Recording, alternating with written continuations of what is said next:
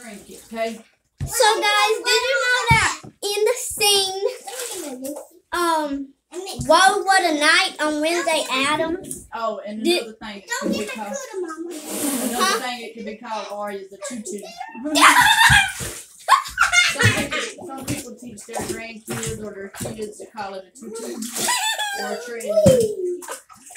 So, and Wednesday Addams, box. A treasure box. Whoa What a Night, Well, it does look like a treasure box. um, it does, don't it? It looks like a treasure box too. and where Whoa What a Night It looks like a on Wednesday Addams. It was actually look Whoa What a like Night, bag and that's halfway open. Did you know that Wednesday Addams actually spoiled that scene? the like when the red paint was running down, raining red paint. Wednesday Addams literally spoiled the scene. She she told everybody that it was just paint. She spoiled the scene and nobody knew.